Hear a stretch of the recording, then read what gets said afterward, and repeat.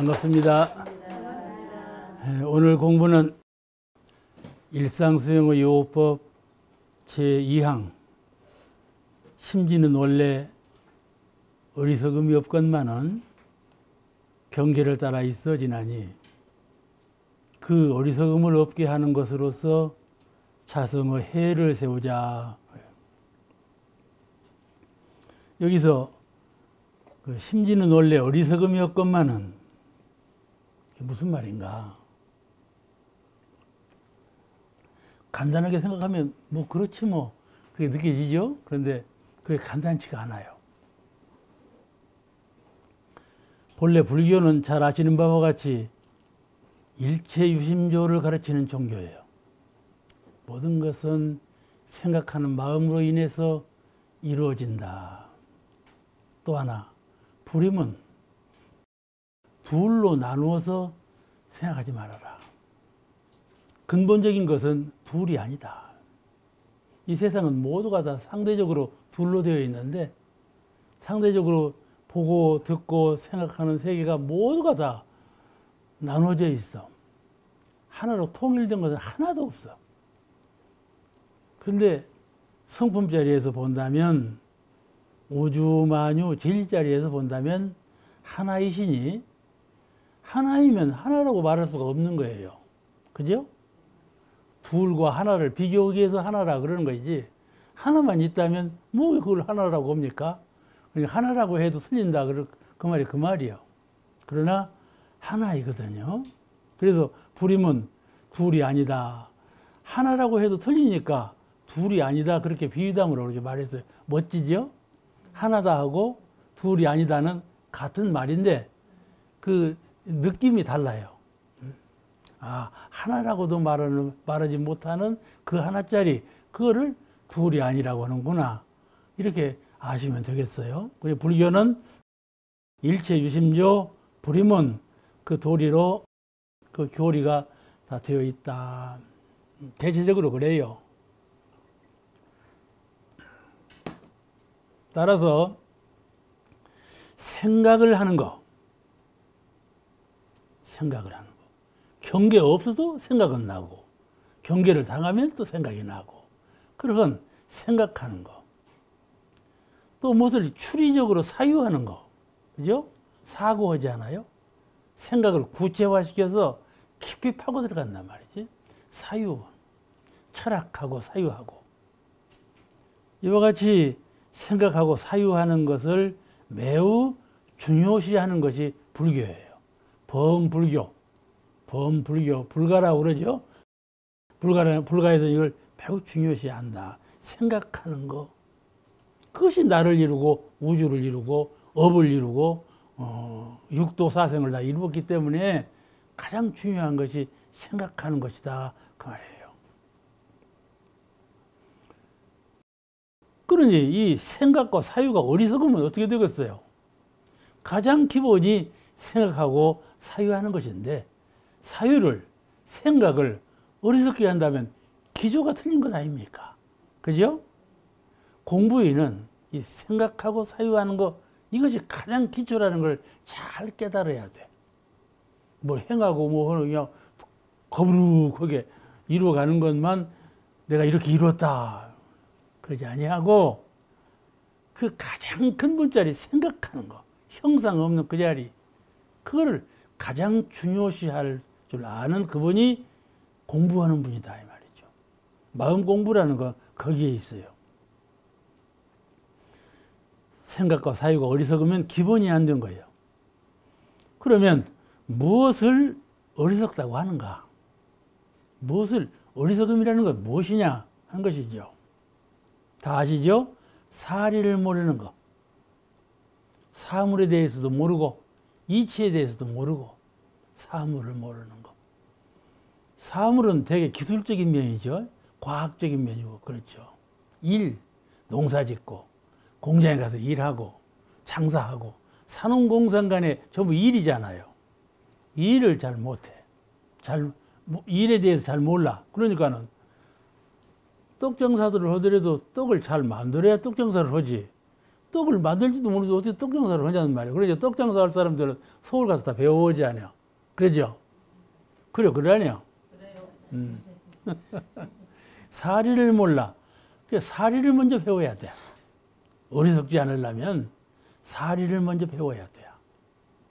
그러므로 우리가 스승을 삼고 사리를 이치도 배우고 사물도 배우고 다 배우지 않아요.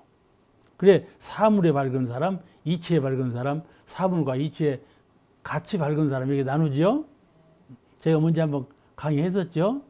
우리 온 인류를 둘로 딱 나눈다면 어? 사물에 밝은 사람, 이치에 밝은 사람, 사물과 이치에 다 밝은 사람 이게 나올 수가 있다. 그런 말씀을 드린 일이 있는데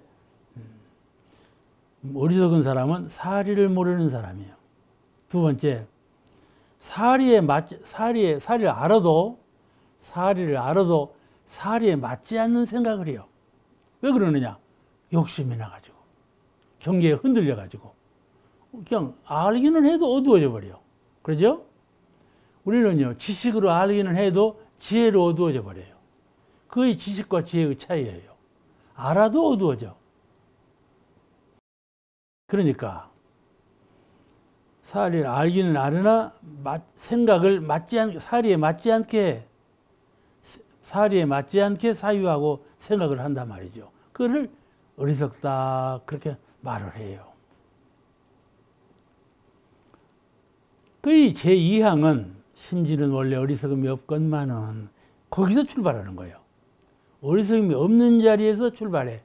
그냥 불, 불교는 현재가 제일 중요해. 현재. 어리석음이 없는 그 자리에서 출발을 해. 언제든지 우리는 그래요. 범연하게 그냥 무엇이든지 해나가는 것이 아니고 늘 각성해. 각을 해. 지각, 깨달음을 얻어서 어리석음이 없는 자리에서 항상 출발해. 그죠? 그게 이론상이거든. 이론상을 상념에 잃어버리지 아니하고 늘 깨달음을 유지해서 깨어있으라 그러거든. 깨어있으라는 말은 참을 깨어있으란 말이 아니요. 정신적으로 열려고 밝게 깨어있으라 그 말이요. 그죠? 깨어있으라. 그러니까 제2항은 심지에 어리석음이 없는 그 자리에서 출발, 출발 시점, 이 출발 시점이 매우 중요해요.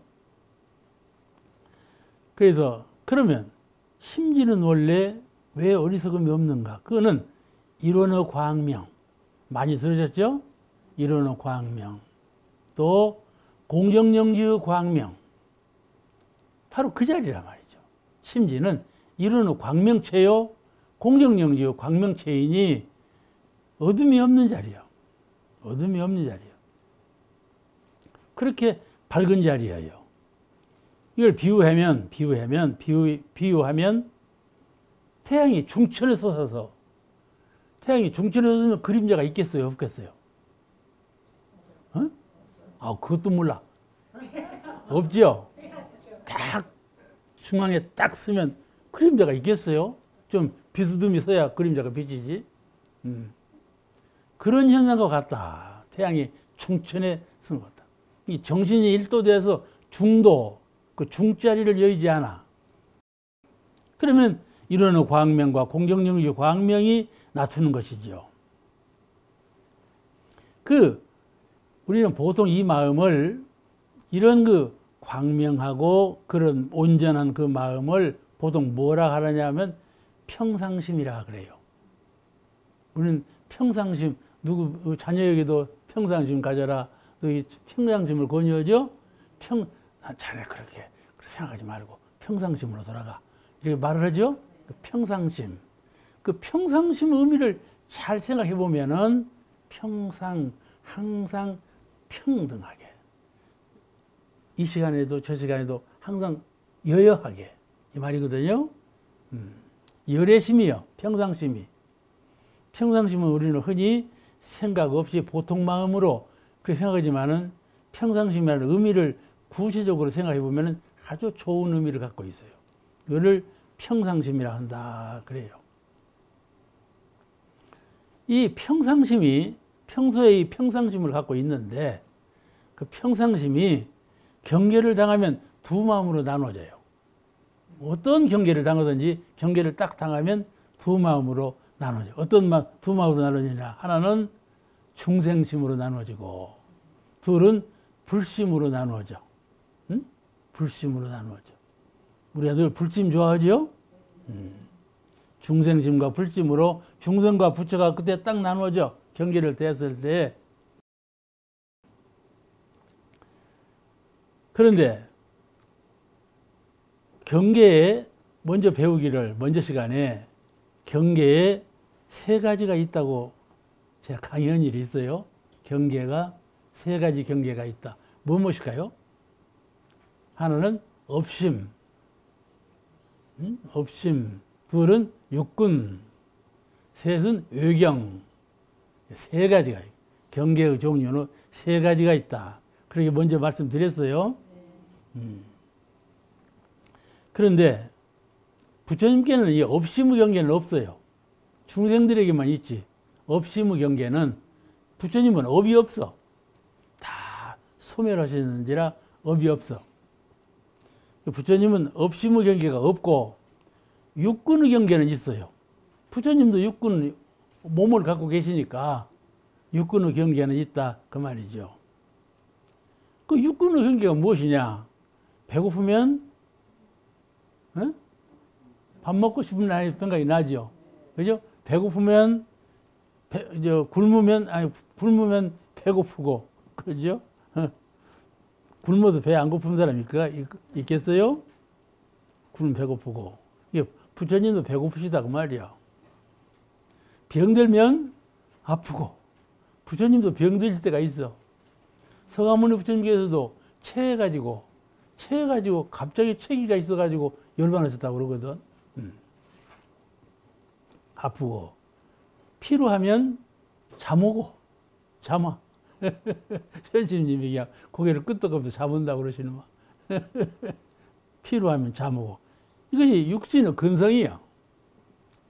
그것을 경계라. 이게 육신에서 오는 경계라. 그렇게 말을 해요. 그런데, 이 저 중국, 어, 홍자성의 최근담에 이런 말이 나와요. 아유, 일본경하니 나에게 한 권의 경전이 있으니 불인 지묵성이요. 지묵으로 이루어진 바가 아니고 음? 지묵 조이나 먹으로 이루어진 바가 아니고 한 권은 나에게 한 권의 경전이 있는데 지묵으로 이루어진 바가 아니고 전개 무일자니 글자로 된 것도 아니에요. 지묵으로 된 것도 아니고 글자로 된 것도 아니고 그런데 상방 대광명이라 항상 큰고 거룩한 광명이 발현되어 있어 환하게 나타나 있다 말씀이죠. 항상. 응? 음. 우리는 경전은 지묵으로 경전이라 그러고 그러죠? 글자로 바로 경전이라고 그러는데 이건 아무 글자도 없고 그런 것이지만은 항상 광명이 발현되어 있다. 그것이 참 참된 경전이다. 그런 말이 책임담에 나와요. 그 좋은 말이죠? 음. 그냥 우리가 교전만 공부는 공부가 아니고 아니고 한 마음 탁 바꾸어서 각. 그죠? 각 이게 정각, 대각, 정각, 정행, 정각해야 하는 항상 이게 대각을 이루기, 이루기 전에도 우리가 한 마음을 회양하면 회양하면 일어나 광명, 공정영지의 광명으로 내 마음을 항상 탁 각성시킨단 말이에요. 그럼 그 부처님 마음 아니요? 음. 이런, 이런 부처님 마음은 상광명, 항상 광명으로 환하다. 광명으로 환하다. 그 표준이에요.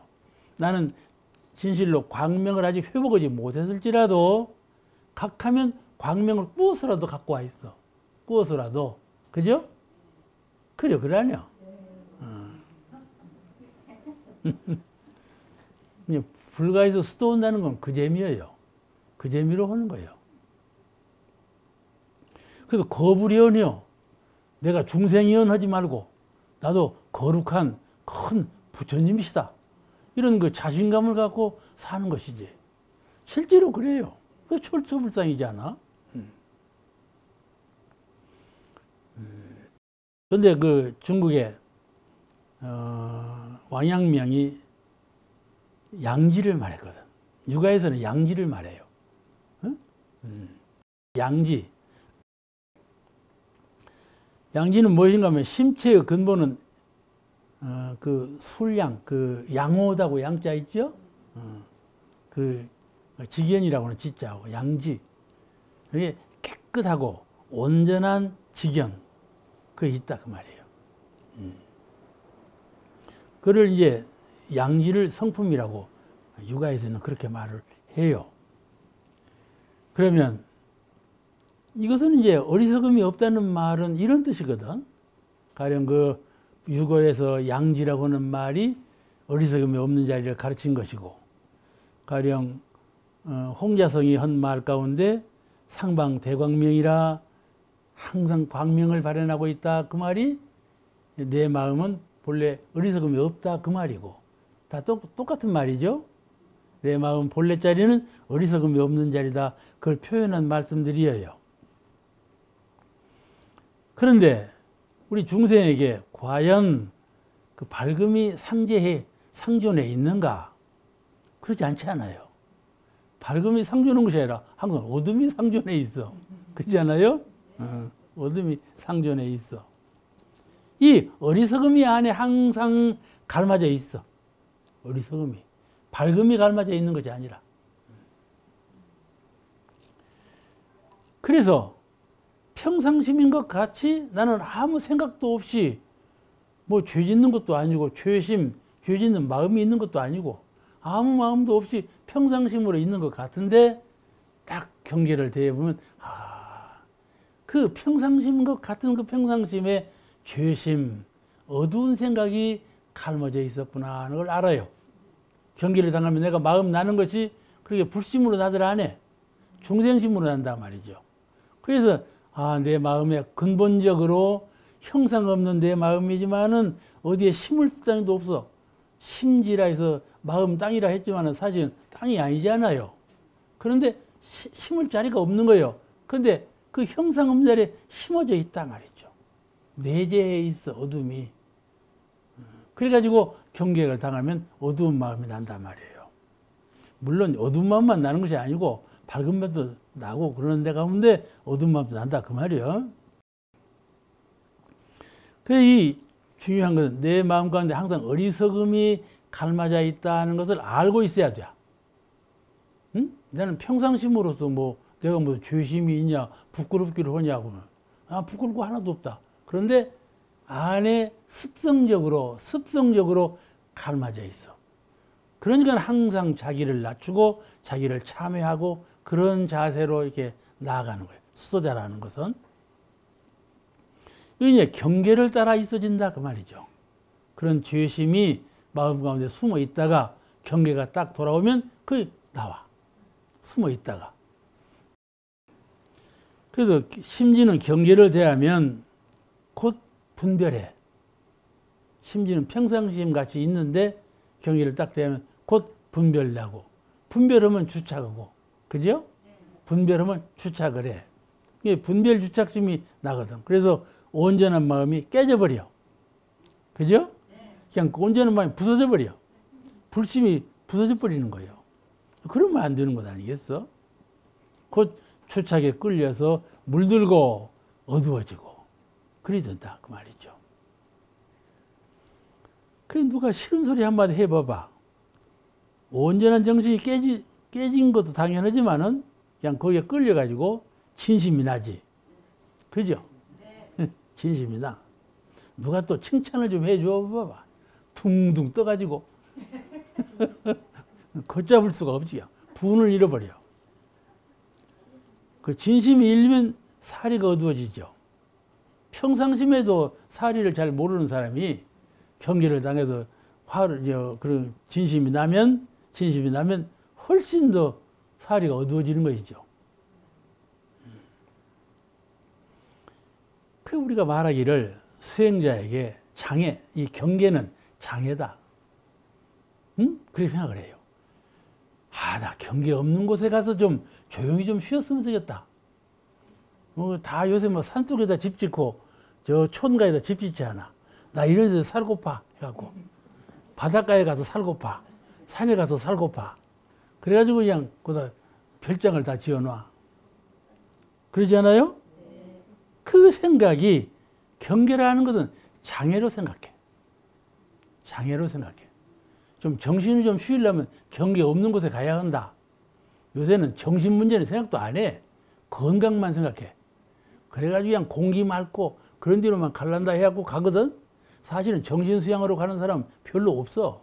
다 그 몸 몸뚱이 그냥 그 백세 미만에 죽을 몸뚱이 그 살리려고 가려고 그러지. 음.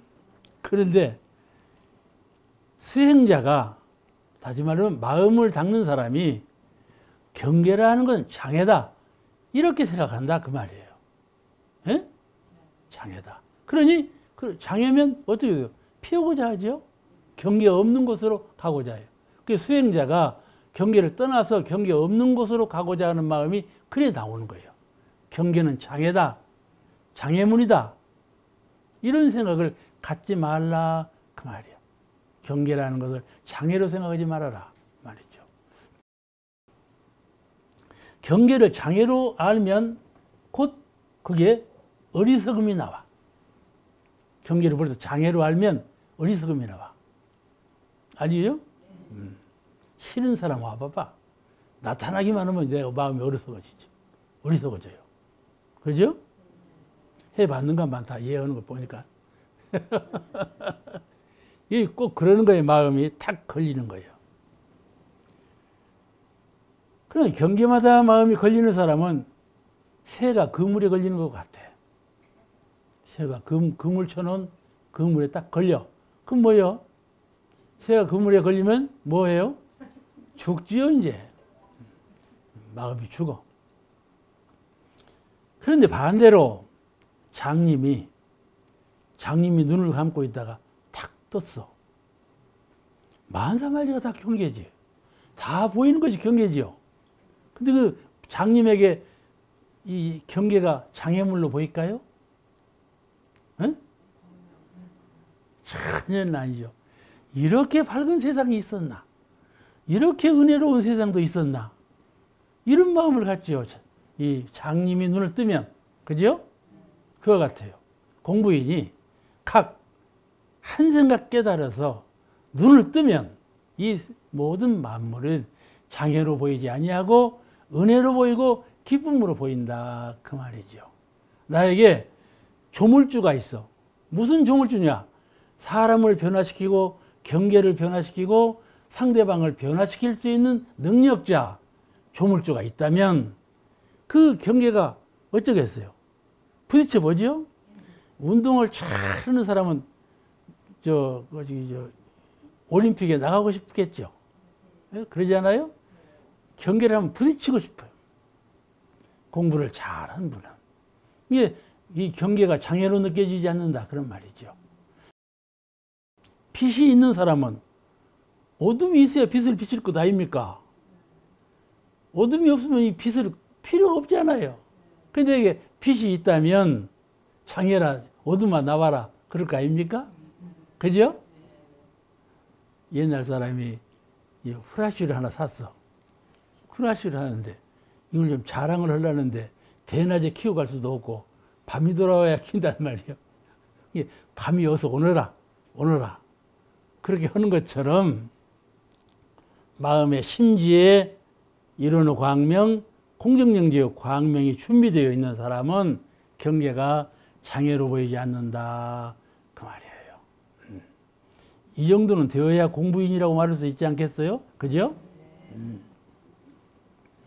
그래서 우리는 자성부를 잘 수호해. 그 우리 이론상 서문에 나오죠? 잘 수호하는 공부를 하며, 어? 심신을 잘 수호하는 공부를 하며, 사리를 잘 연마하는 공부를 하며, 심신을 잘 사용하는 공부를 지성으로 하여. 이 말씀이 그 말이에요. 잘 수호하는 공부. 잘 이루는 광명을 심지에 잘 수호할 줄 알아야 한다. 이 말이죠. 그래 어리석음이 없어지죠. 그래서 그 어리석음을 없게 하는 것으로서 없게 하는 것으로 그럼 어떻게 하자는 말이냐? 없게 하는 것으로서 이렇게 했거든. 마음의 어리석음을 제거하는 최선의 요령이 있어요. 우리 마음 가운데 어리석음을 제거하는 최선의 방법, 최선의 요령이 있어. 무슨 요령인가? 다 아는 거요. 내가 여기서 새로운 것 집어내는 건 아니요. 정할 때는 일이 없을 때, 고요할 때, 정할 때는 좌선으로 자성에는 본래 치가 없음을 도노하고 좌선을 통해서 아, 내 본래 마음자리 이 마음에는 본래 어리석음이 없는 자리로구나. 어리석음이라는 것은 실체가 없는 것이로구나. 빛을 딱 비치면 어둠이 있어요, 없어요? 동시에 사라져 버리죠. 빛만 있으면. 빛, 빛 속에는 어둠이 없어요. 이걸 도노라 그래요. 문득 깨달았다 말이죠. 문득 깨달았. 이걸 도노라 그래. 정할 때는 좌선으로 도노 경지에 이르러. 좌선. 그래서 선이 일이 중요한 거예요. 짬짬이 좌선이 오래 시간 걸리는 것이 아니에요. 한 10분도, 한 30분도 아주 충분한 시간이에요. 예, 심연의 세계에 들어가기 위해서는 그냥 그 삼경에도 하고 3시간도 하고 이렇게 하는 경우가 있지만은 오래 한다고 좋은 건 아니에요. 그만한 능력을 갖고 오래 하는 건 좋지만은 능력도 없이 오래 하는 건 병만 나요. 그러죠? 네. 이 짧, 짧은 시간에 그 아주 좋은 선을 나는 것이 중요해요. 그래서 깨달음을 가져. 항상 저는 말하죠. 선을 닦은 연후의 깨달음. 아, 내가 평소에 알고 있던 그 영지의 세계, 공정영지의 광명의 세계가 바로 이것이었구나. 뭐내 마음에서 본래 깨닫는단 말이죠. 깨닫는 거예요. 그 이제 그걸 도노라. 문득 깨달았다 그 말이고요. 동할 때는 그럼 어떻게 하느냐? 동할 때는 욕심이 움직일 때, 마음을 작용할 때는 무지선으로요. 무지선으로 경계를 대하여 자성반조로 점호한다. 경계를 대하여 항상 자성을 반조해서 그 일을 취사하죠. 일을 당했을 때는 자성, 자성을 반조하여서 그 일을 원만부족 지공무사하게 취사하지 않아요? 취사를 해나가요. 그러는 가운데 늘 마음 가운데 그 밝음을 잃지 아니하고 깨달음을 떠나지 아니해. 그를 그렇게 수행해 가는 것을 점호라 그래요. 점진적으로 다가간다. 점호, 도노, 점호. 그러죠? 점호문, 도노문 그렇게 불가에서 나누고 있어요. 공자님은 이런 신경을 명경지수라 그렇게 말했어요. 명경지수. 물, 물을 보고 그 아주 밝은 경대와 같이 돼. 물은, 물은 고요히 말, 가라앉으면요. 아주 맑은 경대, 밝은 경대 같아요. 어? 거울 같아. 그런 신경으로 명경지수라는 음, 그 용어를 쓰셨는데 장자에 나온 얘기가 이런 얘기가 있어요. 공자님에게 제자 상계가 물었어요. 공자님, 왕태라는 사람은 왕태라는 사람이 또 있어 중국에. 그 사람은 불구자예요. 왜 불구자냐? 살인했다고 오판을 받았어. 살인했다고 오판을 받았고 다리를 잘려버렸어. 생다리를 잘려버린 거예요. 죄도 없이. 그러니 얼마나 억울했겠어요. 그런데 그렇게 그 발을 잘렸어도 그 마음은 아주 평온하고 밝어. 평온하고 밝어. 그러니까 이, 그, 말 한마디를 안 해도 사람들이 막 따라가. 왕태를 막 따라가. 그러니까는 공자님 제자만큼 많습니다. 그랬어. 그러니까 공자님이 이 어, 상계가 그런 공자님한테 그렇게 말을 하니까 말씀을 드리니까 공자님께서 뭐라고 하셨는가 하면은 물이 흐름을 그침에 만물을 비치듯이 물이 흘러갈 때는 만물 안 비쳐 흐름을 딱 그쳐 그러면 고해지면서 만물을 비치죠 그 말씀이요 물이 흐름을 그침에 만물을 비치듯이 사람들은 그를 거울로 삼나니라 그런 대답을 하셨어. 응? 그러니까 이 왕태는 흐름에 흐르를 흘러가는 사람이 아니에요. 우리는 잠을 깨고 잠잘 때도 흘러. 잠을 깨고 세수하고 일하고 밥 먹고 일하고 대화하고 활동하고 이건 세상 흐름이잖아요. 흐름 속에 살아. 그죠? 자동차 운전하면서 자동차 흐름을 타고 가는 것처럼 인생의 흐름 속에 살아. 그 마음으로는 몸으로는 흐름을 타고 가지만은 마음으로는 흐름을 탁 그쳤다고 말이죠. 그러면 고요한 자리를 지킬 수가 있어. 마음으로 흐름을 그치면. 그러니까 항상 밝은 자리를 잃어버리지 아니하죠. 마음이 몸 따라 흘러가면 절대로 밝을 수가 없어요. 밝을 수가 없어. 마음이 몸 따라 흘러가지 아니하고 딱 마음은 그쳐 있어야 돼. 그쳐 있어야 돼. 그래야 온전한 정신, 뚜렷하고 고요한 정신 자리를 지킬 수가 있는 것이죠. 내가 늘 말하죠. 자꾸 그렇게 해버릇하면 쉬워진다고. 처음에는 아이고 어떻게 그렇게 해. 그런데 그러지 않아요. 자꾸 해 하고 또 하고 하고 또 하고 하면 그것이 쉬워진다 그 말이에요. 그 대명사님은 밥 먹기보다 쉽다. 밥 먹기보다 쉽다. 그렇게 말씀하셨으니까. 음. 그런데 여기에 이제 가장 중요한 것은 끝에 이러이러하니 자성의 해를 세우자. 자성의 해를 세우자. 경계에 따라 있어 이제 경계를 그 어리석음을 없는 방법으로서 자성의 해를 늘 세워두자. 마음 가운데 자성의 해를 준비해두자. 새를 세우자. 그러면 어떻게 그 자성의 해를 세울 것인가? 여러분 법의 해명이라는 말씀 들어보셨죠? 그막 공부를 참 잘하셨어. 법의 해명 성가에도 나오든가 모르겠어. 또 자성의 해광이라는 말씀 들어보셨죠? 자성의 해광. 음. 참회문에 자성의 해광이 두 번이나 나오든가 그럴 거야. 음. 대종경 요음품 41장에 도가의 명맥은 시설이나 재물에 있지 아니하고 법의 해명을 받아 전함에 있나니라. 여기에 법의 해명이 나와. 도가에는 시설이나 재물을 보지 않는다. 그 법의 해명을 이어가는 그런 도가라야 이제 훌륭한 종교다 그런 말씀이죠. 그 법의 해명이 얼마나 중요합니까? 가장 근본이 되는 것이죠. 이 법의 해명. 이 법의 해명으로 자성의 해를 세우는 것이에요. 좀 어렵죠? 좀 어려운데 그걸 오늘 공부하시겠습니다. 법의 해명으로 자성의 해를 세운다 이것이고 두 번째 자성의 해광, 자성의 광명. 이 자성의 광명으로 법 자성의 해를 세워요. 그러면 자성의 해는 뭐냐면 좌선의 공덕에 보면은 좌선 그 공덕에 보면 좌선에 그 방법이 있고 공덕이 나오죠. 그 공덕에 보면 자성의 해광이 나타나는 것이요. 그 조항이 있어요. 좌선을 잘하면 자, 자, 자성의 해광이 나타나. 자성이라는 건 자기 마음이죠. 자기 본래 성품의 해광, 지혜 광명이 나타나느니라. 자선은. 음. 나타나. 거기에 자성의 해광이라는 말 나오고 또 참회문에 업은 본래 무명인지라 자성의 해광을 따라 반드시 없어지나니. 그거 나오죠? 자성의 해광. 이 자성의 해광이 매우 중요한 뜻을 갖고 있어요. 그래서 자성의 해광이 바라야 이 진대지가 이 도량이요.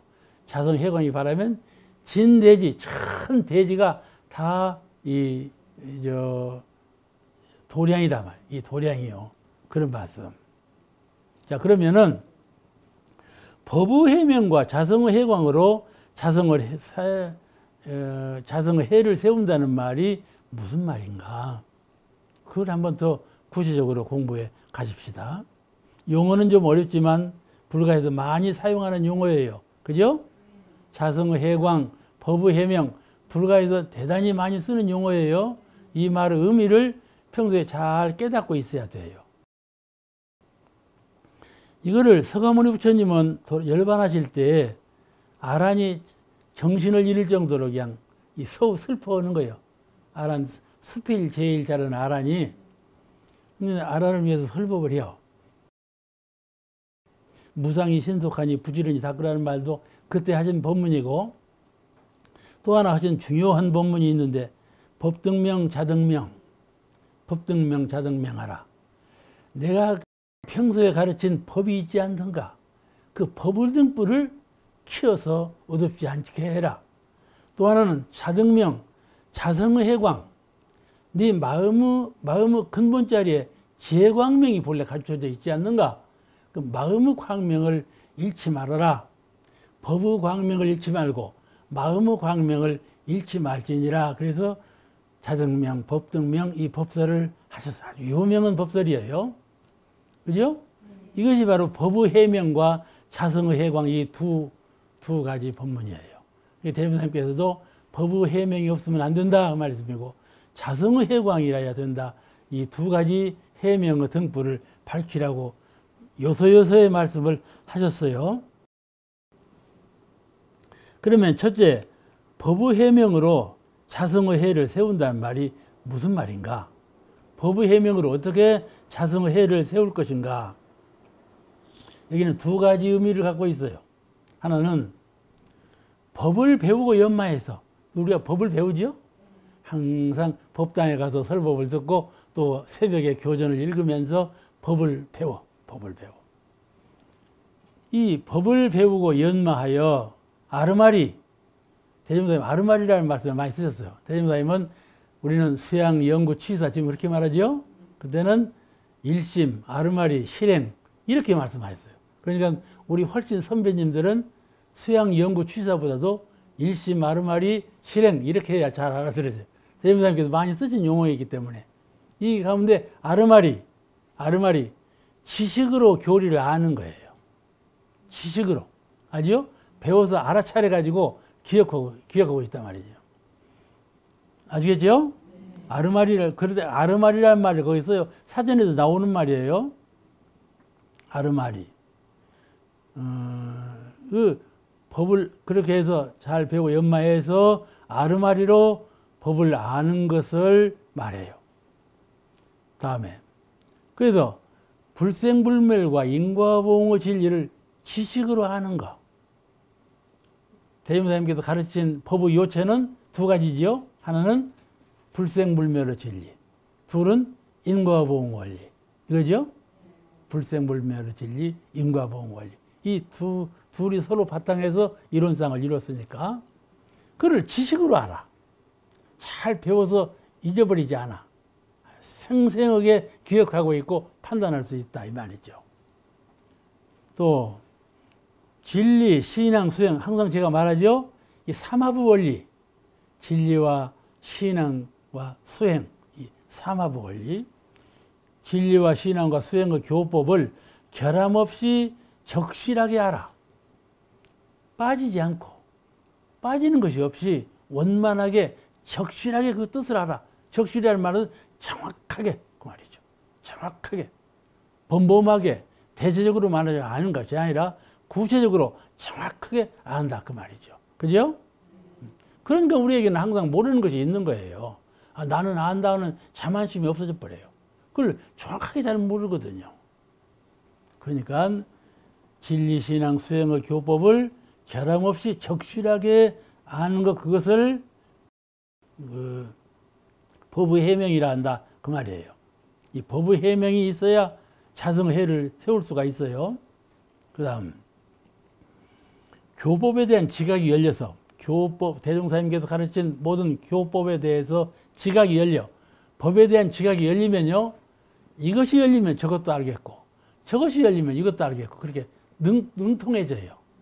이 지각이라는 건 묘해요. 하나 알으면 둘을 알아요.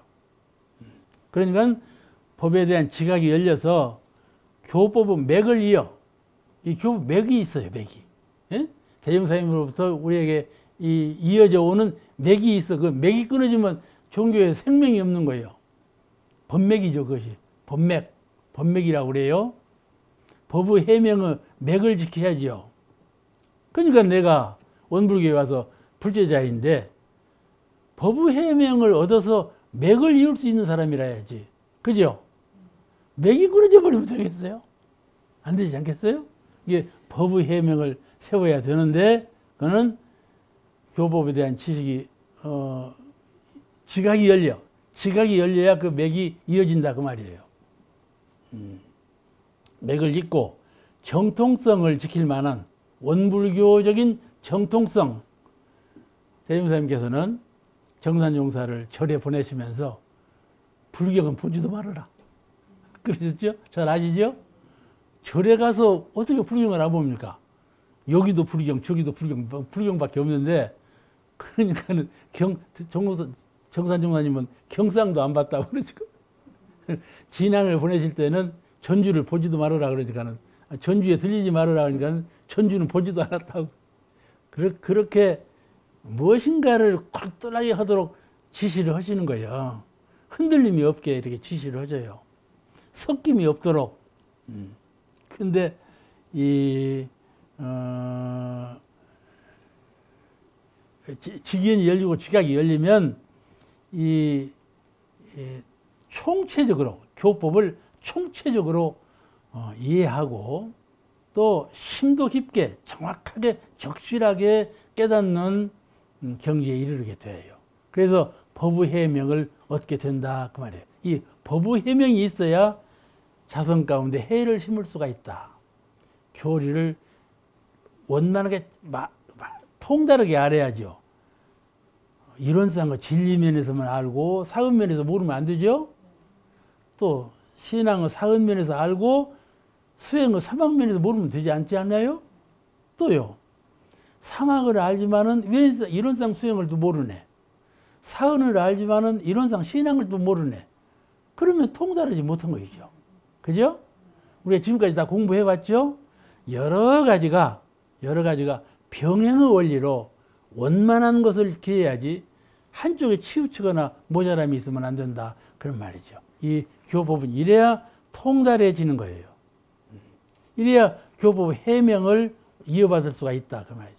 그런 교법 해명을, 법의 해명을 내가 이어받아야 우리는 비로소 자성의 해를 세운 것이다. 늘 노력을 해가야 되겠죠? 많은 노력을 해가야 돼요. 우리가 지금 이 설교 말씀을 듣고 계시는 것도 법의 해명을 더 완실하게 하기 위해서 하는 거예요. 많이 듣고 배우고 착실하게 깨닫기 위해서 하는 거 아니겠어요? 음. 그 다음 둘은 교법에 대한 해문이 열려서 사통오달하고 이 교법에 대한 해문이 열려 지혜문이라고 그러죠. 해문 지혜가 열려 이 여기서부터 열리는 가는 모르지 여기가요 큰 암벽이 이렇게 딱 뜨죠. 하고 해문이 열릴 때는 암벽이 열리는 것 같이 그 열린다는 말도 있어요. 그냥 듣고 마세요. 해문이 열릴 때는 여러 가지 여러 가지 방향의 방로가 있는 것 같아요. 사람마다 다 달라서 음, 그렇게 말씀하는 분도 있어요. 음. 그런데 교법 법에 대한 해문이 열려서 사통오달에 문이 탁 열려버리면 동서남북이 없잖아요. 법도 그와 같아요. 법도 법의 해, 문이 열리면 법에 국한이 없고 막힌 곳이 없단 말이죠. 사통오달이 돼야 법에 사통오달이 돼. 그래서 이것을 이무해라 그래요. 이치에 걸림이 없다. 알겠죠? 이것을 이무해라 그래요. 걸림이 없으며 막힘이 없는 지혜로 법을 깨달은 것을 말한다. 법을 깨달은 걸 말해요. 아까는 법을 아는 걸 말했죠? 아르마리로 법을 아는 것. 이번에는 해문이 열려서 사통오달이 돼가지고 법을 깨닫는 것. 깨달음으로써 각, 각존이 되는 거. 예? 아시겠죠? 다르죠? 지식으로 아는 것하고 깨달음으로 아는 것하고 다르다고 말씀이죠. 음. 그래서 이제 불, 이 불생불명과 인과보험의 진리를 형상 없는 마음으로 증득해서 지혜로 깨달아. 지견으로 알고만 있는 것이 아니라 지혜로 깨달아.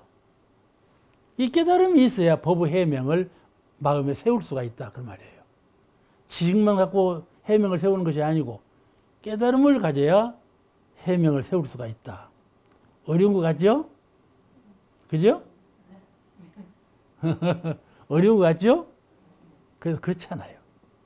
이게 우리가 지금 하고 있는 거예요. 우리가 지견으로 아는 것하고 지혜로 깨닫는 것을 지금 다 하고 있어요. 하고 있는 것이 말로 정리하니까 이런 말이 정리가 되는 것이지 우리가 그리 못하고 있는 건 아니에요. 그래서 점진적으로 열려가는 것이니까 지혜를 놓고 깨달음을 따로 찾으려고 해도 찾지를 못해요. 사실은요, 이 지식하고 지혜하고가 하나이면서 둘이고 둘이면서 하나인 관계예요.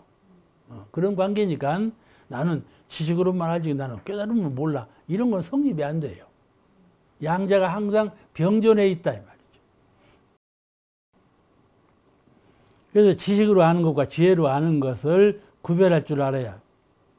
음, 이게 보면 사람 대화에 보면 저 사람은 교리를 지식으로 푸는 사람이다. 에? 저 사람은 교리를 지혜로 열려가, 열어가는 사람이다. 이걸 직관으로 알아요. 직관으로 알아요. 이게 늘 공부를 잘하는 사람은 이 아랫사람은 잘 알아요. 윗, 윗사람은 잘 모르죠.